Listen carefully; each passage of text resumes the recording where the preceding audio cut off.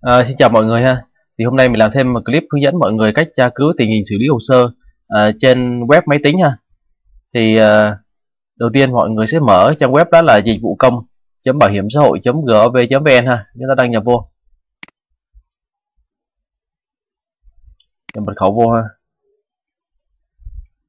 Và chúng ta nhập cái mã bảo vệ nhiều bạn nói là nhập mã vệ thì không không đúng rồi thì chúng ta cứ xem cái mã bảo vệ chúng ta nhập lại thôi nếu mà chúng ta thấy khó quá thì chúng ta không đọc được á chúng ta bấm vào đây này nó cho ra mã khác này chúng ta nhập lại thôi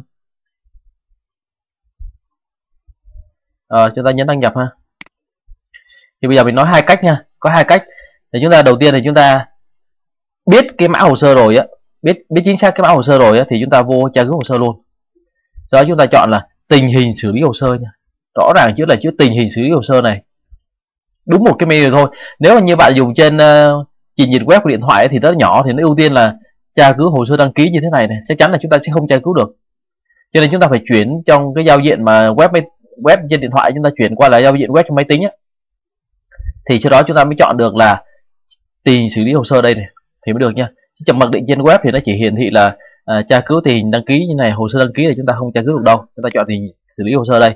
Và chúng ta sẽ nhập cái mã số hồ sơ đây ở trong đây. Thì cái mã số hồ sơ này là chúng ta sẽ nhận được trong cái tin nhắn đó.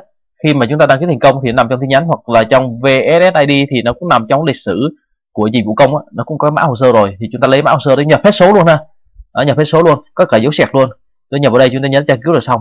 Đó là trường hợp mà chúng ta đã biết cách biết cách chúng ta à, tìm được mã hồ sơ rồi.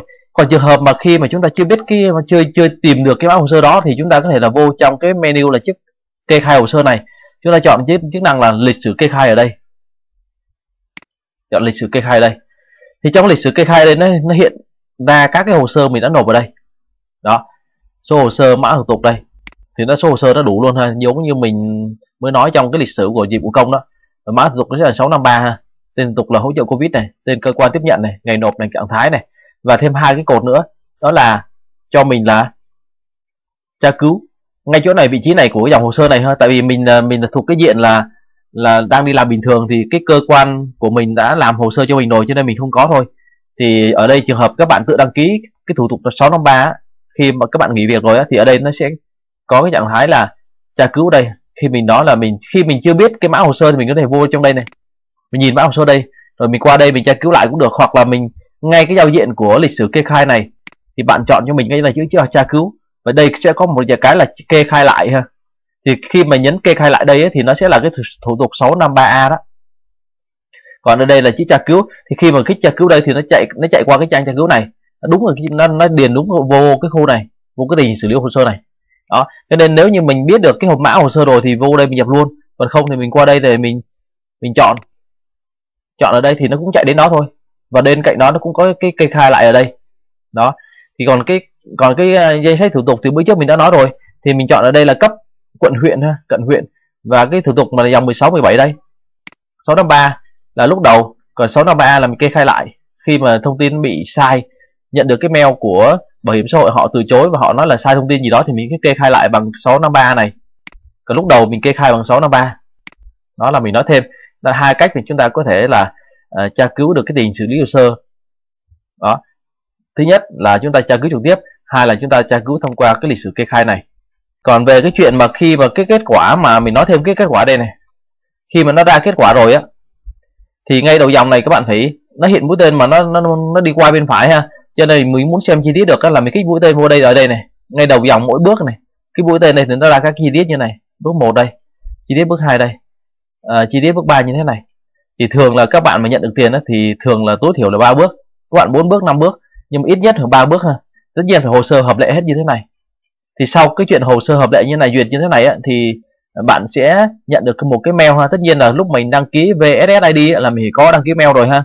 Thì sau cái bước này á, thì họ sẽ gửi mail cho mình. Gửi mail kết quả là có kết quả tại cái cơ quan bảo hiểm xã hội mà mình đã gửi đó.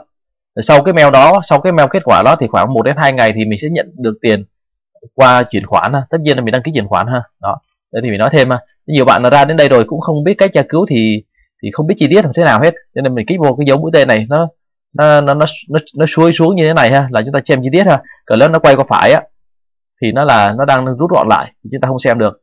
Cho nên chúng ta kích vào đây ha. À, kích vô đầu dòng đây. À, kích vô đầu dòng đây. Thì chúng ta xem được chi tiết như thế này. Và nhớ rằng các cái bước như này chúng ta phải hợp lệ hết ha. Đó. Thì chúng ta lưu ý ha. Đó thì mình nói thêm về cái chuyện mà chúng ta cách mà chúng ta tra cứu à, tình hình xử lý. Mà cái phiên bản này mình đang làm đây á là mình nói ở trên à, web phiên bản dùng cho máy tính nha. Đó còn tiếp theo nữa là mình nói thêm cho các bạn cái chuyện mà chúng ta tra cứu cái thời gian tham gia bảo hiểm thất nghiệp và số tiền đóng thì bạn vô cái trang web là bảo hiểm xã hội.gov.vn đây. Sau đó, mình chọn tra cứu đây. Rồi, ở bên tay phải này bạn thấy không? Công khai thông tin đây. Đó. Thì cái giao diện mà các bạn dùng trên máy tính thì nó nó to, nó rõ như vậy đó. Nhưng mà bạn làm trên điện thoại á, thì nó nó lại biết nó bị che đi nó bị mờ khi mà chúng ta tra cứu xong á là cái bảng này nó bị che mất chúng ta không có kéo qua phải chúng ta không xem hết được thông tin.